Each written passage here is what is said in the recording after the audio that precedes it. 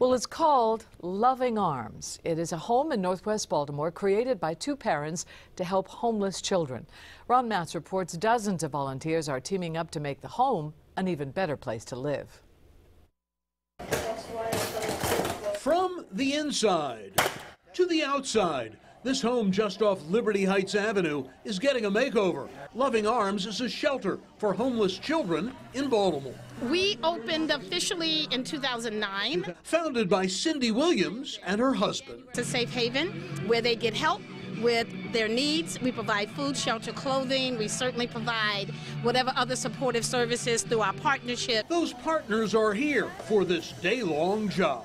We moved everything out. Uh, you know, we're putting in new flooring, painting the whole house, new carpet, handyman stuff, things that have been neglected for 10 years plus. And so are 70 volunteers. So it really makes me happy that we can give to children that are in need, and um, I think that it'll make a huge difference in their life. At any given time, 8 to 12 homeless children will live in this house, all with adult supervision. So no adults live here on site, just the children, because we need that space to be for them. But we have three shifts that come in and we work with them around the clock, full-time awake staff at all times. A local mortgage company is part of this effort. As a mortgage company, we really understand the need for safe and reliable housing, so it was really the perfect fit for us to take on as a community project. A community of caring. No child should have to worry about where they're going to sleep at night. That's our goal. Ron Matz reporting for WJZ.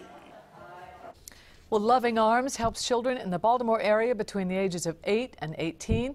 If you would like to help, there's information on our website, WJZ.com.